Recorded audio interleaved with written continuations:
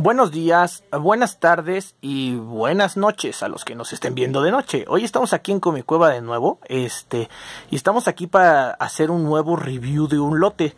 Y vamos a empezar con este. Híjole, es que apenas ayer lo tenía y ya casi, casi quedó completa. De hecho, ahorita les enseño, nomás faltaban dos tarjetas, pero yo le metí dos norteamericanas para que se vea ahí súper, súper llena. Y si no, si no les digo que son norteamericanas, ni se dan cuenta. O sea, la verdad es que está súper bien quedó este paquete. Y es que ahorita, eh, eh, la verdad que me da mucho gusto hacer este video. Estoy súper emocionado. Vean cómo tiembla la cámara. Porque la verdad, este, la verdad me, había, me, emociona porque han de saber ustedes que hace, que hace tiempo, cuando me propuse subir estos videos de reviews, yo dije, bueno, pues voy a subir un review de lotes, pues a lo mejor cada mes, cada semana, pero ustedes eh, pueden ser testigos los que me están siguiendo cómo llegan y llegan y llegan y llegan y llegan los lotes. Y es que me puse a recordar de viejos tiempos, de cuando yo era más joven y con mi cueva apenas estaba empezando, hace unos 13 años más o menos, y yo más yo en ese tiempo yo iba al centro a surtir, surtía póster, surtía ciertos juguetes, surtía este, pues eh, parafernalia en general, ¿no? Pero digamos que yo yo eh, trabajaba todo el mes y me tomaba un día del mes para ir a surtir, que yo cerraba aquí la tienda. Lo sorprendente ahora es que este pasé yo de surtir una vez al mes a surtir una vez a la quincena y ahora prácticamente pues, ustedes lo pueden ver, pues a cada rato llegan y llegan y llegan y llegan lotes. Y esto que les estoy mostrando son solamente los lotes grandes, ¿no? Que yo digo, bueno, son suficientes figuras como para hablar de ellos en un, en un video, porque la verdad también llegan este lotes que son pequeños, me llega una figura, que dos figuras, entonces pues, eso ya no ya, ya no los ya no los publico aquí, simplemente los publico ahí en Facebook, este les tomo foto y pues a lo que lo que viene, ¿no? Pero vean nada más que sabrosura, aquí tenemos todos, eh, todos estos. Y miren nada más, aquí ya ni se notan los huequitos, ¿no? De la vez pasada que les mostré la carpeta, aquí empecé a rellenar todos los huequitos. Y vamos terminándola ya prácticamente todo completo. Ahorita yo junté ya todas las metálicas, lo único que me faltaron, bien, ya aquí se pueden ver las cinco prismas. Me faltaron dos prismas para completar toda la colección. Dos hologramas se llaman estas tarjetas, pero resulta que yo tengo hologramas norteamericanos originales también de DC. Así que eh, aquí está el de, esta colección, está, está este Impulso, está Superman, está Johnny Quick. Pero yo completé con eh, hologramas norteamericanos. Aquí está Wonder Woman y aquí está Wave Rider, uno de los New Gods. Entonces está súper bien. Y miren, de los de los de las metálicas, ahora sí, sí las junté todas. Entonces ya se podría decir que esta es una colección casi, casi, casi completa, ¿no? Entonces para los que les interese, aquí, va, aquí las va a estar esperando en Comi Cueva. Pero bueno, pasemos a lo que nos compete y son las cosillas que fueron cayendo el día de hoy. Y es que vean nomás, Vamos a empezar con este cómic, que es uno de mis favoritos. A mí siempre que me llegan cómics sueltos, pues siempre pues, intento agarrar los más, los más bonitos, ¿no? Y en este caso aquí está este, este crossover de Spawn con Savage Dragon, que sucedió en el, en, eh, en el cómic número 52 de Spawn, cuando Spawn baja a los infiernos un cómic muy bonito y la verdad es que este las portadas de Greg Capulo insuperables para este tipo de para este tipo de presentaciones.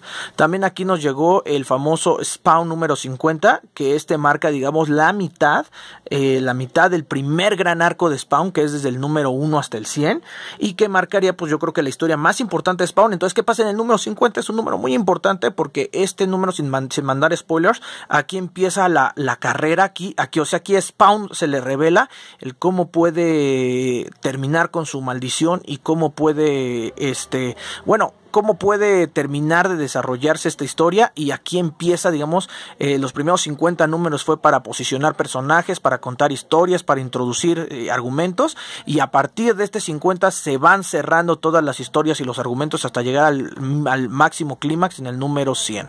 ¿Ok? Muy buen cómic. Luego por aquí pasamos a cosas de las tortugas ninja. Y vean nada más, aquí están estos peluchitos que sean promocionales, si no mal recuerdo, de McDonald's. Aquí está, aquí llegó este Donatello y aquí llegó otro Donatello para acompañarlo. Y miren esta tapacia de Toy Story, ahí tenía las, siglas de, de, su antiguo dueño. Entonces, unos Donatelitos, ¿no? Y como seguimos con la Donimanía, aquí llegó esta tortuga ninja, este Donatello, que está inspirado en la película del año 2014. En las películas, las Tanodiadas películas de Michael Bay de las Tortugas Ninja. La verdad es que las películas a mí no me gustaron, pero las figuras sí me gustaron bastante. Entonces, este, pues yo sí se las recomendaría, ¿no? Como para coleccionar. Y miren, siempre muestro primero la figura antes de hablar de ella, a ver quién la reconoce. Este es un sidekick, un amigo, un complemento, un accesorio de las figuras de Tortugas Ninja Vintage. En este caso, este es el acompañante del Miguel Ángel este ranchero, del Miguel Ángel mexicano. Y por supuesto tenía que ser un cactus mutante. Entonces aquí está.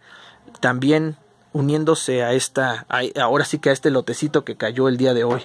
Déjenme ver aquí, ¿qué más? Miren nada más, acá tenemos un bootleg mexicano, porque pues nunca puede faltar alguna cosilla bootleg que sale por ahí. Este es el único bootleg, me parece, de esta, de este, de este día, pero este está muy bonito porque estos son de los, este es un bootleg basado en unas figuras norteamericanas que si no mal recuerdo se llaman, este, Beast Warriors, y son como muñequitos pequeños que son, este, animales. Aquí en América llegaron como parte de las colecciones de Transformers y obviamente pues, tuvieron su, su, impacto. Los Warrior Beast se llaman Warrior Beast. Entonces este, aquí llegó este bootleg mexicano. Pasando a otra cosa, por aquí miren, para, las, para las, los, los coleccionistas de muñecas, aquí tenemos unas Monster High. Esta es una Rochelle Goyle. La verdad es que supongo que la ropa es original, pero no creo que sea su ropa, o sea, la ropa con la que venía en caja, sino que le pusieron ahí otra ropita. Pero bueno, aquí tenemos una Rochelle para los fanáticos de Monster High. Y acompañando este lotecito, pues miren, ya pasando otro tema, que vamos a pasar a Monster High. Aquí llegó otra muñequita. Esta me gusta mucho, si no mal recuerdo ya la tengo en mi colección también y con este vestido exactamente. Esta se llama Opereta y es la hija del fantasma de la ópera.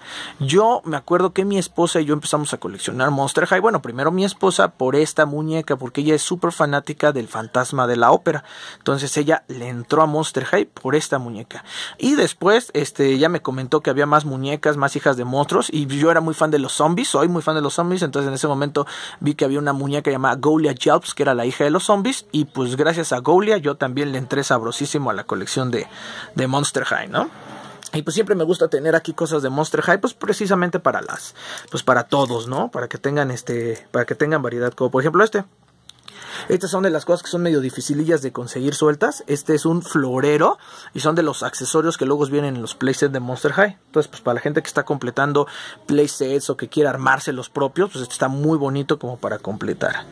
Y luego, siguiendo con un poquito de Monster High, Miren, nada más, esto es como un mueble de baños, como un lavabo. Aquí trae su espejito y se nota que ha de ser como de Draculaura, ¿ya vieron? Porque está así bien temático y está aquí este bien bonito. Entonces, la verdad es que muy bonita pieza. Y bien, eh, o sea, eh, haga en cuenta que esto en display pues se ve se ve precioso así con la muñeca, ¿no? Entonces, este luce mucho, está muy bonito y pues para la gente que las colecciona y que las quiere lucir, así en display se ven muy bonitas. Y yo creo que también parte de esa colección, yo creo que incluso yo creo que se van a ir los dos juntos, viene este, porque estoy prácticamente seguro que son parte del mismo playset. Esta es una bañera, ¿ya vieron? Ahora, lo que quiero que noten es que este tipo de bañera es muy particular y de hecho creo que me parece que es de, Draculaura. Y hay una Draculaura que viene en esta bañera y es que si ustedes sientan a su muñequita en la bañera se ve como esta, esta onda así como muy como medievalista. Y pues para los que ya sepan eh, hace una referencia muy directa a, la historia de, er, de Ersebet Bathory que es la condesa vampira más importante de la historia.